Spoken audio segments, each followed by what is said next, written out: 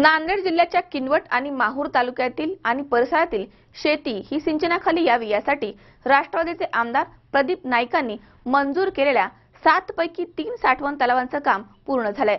या निमित्तानं माहूर तालुक्यातील मोहपूर येथे सिंचन आढावा बैठकीचं आयोजन करण्यात आलं होतं. या कार्यक्रमासाठी प्रशासनाच्या अधिकाऱ्यांसह शेतकरीही मोठ्या संख्येने उपस्थित होते.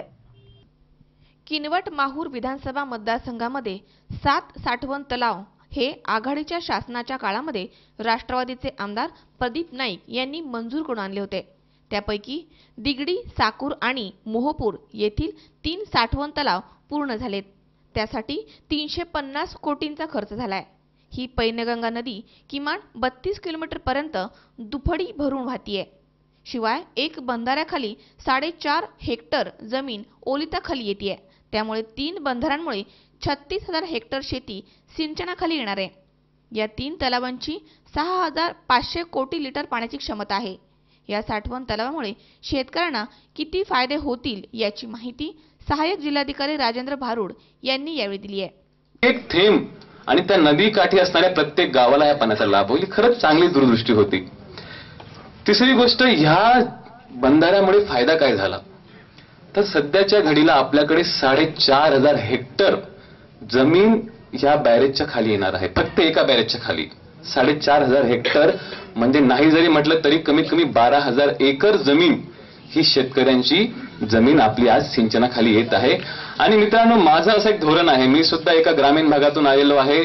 एक शेतकरी कुटुंबातून आलेलो आहे. मला माहिती आहे की आमच्या शेतकऱ्याला तुम्ही वीज द्या पाण्याची सुविधा द्या सिंचनाची सुविधा द्या दुसरं काही देऊ नका. आमचा शेतकरी सक्षम आहे सबळ आहे. मातीत जाईल घाम गाळे आणि त्या घामाने सोनं करेल. शासनाच्या बऱ्याच योजना आहेत निश्चितच. आता माझ्या विभागामार्फत मागच्या वर्षी आम्ही टिंगणवाडीला सहस्रकुंड ते उनकेश्वर पर्यंत या टोकापासून त्या टोकापर्यंत वाहणारी पैनगंगा नदी बाराही महिने पुरासारखी भरून वाहावी आणि शेतकरी सुजलाम सुफलाम व्हावा या उद्देशाने सात साठवण तलाव मंजूर करून आणले होते. तीन साठवण तलाव आज रोजी पूर्ण भरलेत. मात्र असं असलं तरी अजून चार साठवण तलाव कधी पूर्ण भरतील याकडेच शेतकऱ्यांचं लक्ष लागलंय. सहस्रगुणपासून तर दिगडीपर्यंत हा जो पेनगंगाचा पूर्ण रिव्हरचा नदीचा जो फ्लो आहे त्या फ्लो मध्ये सात बॅरेजेस सात बॅरेजेस म्हणजे सात अशा प्रकारचे प्रोजेक्ट्स उभारलेले आहेत. ह्या सात बॅरेज पैकी तीन बॅरेजेस ऑलरेडी बांधले गेलेले आहेत दिगडी साकूर आणि मोहपूरचं. दिगडी बॅरेजची किंमत होती एकशे अठरा कोटी साकूरची होती एकशे दहा कोटी मा आहे एकशे बावीस कोटी. असे एकूण साडेतीनशे कोटी रुपये ऑलरेडी खर्च झालेले आहेत. आणि यावेळी कंधार तालुक्याचे राष्ट्रवादीचे आमदार शंकर अण्णा धोंगडे हे प्रमुख पाहुणे म्हणून उपस्थित होते. यावेळी शेकडो शेतकरी उपस्थित होते. राशीद फजलानी सी चोवीस तास नांदेड.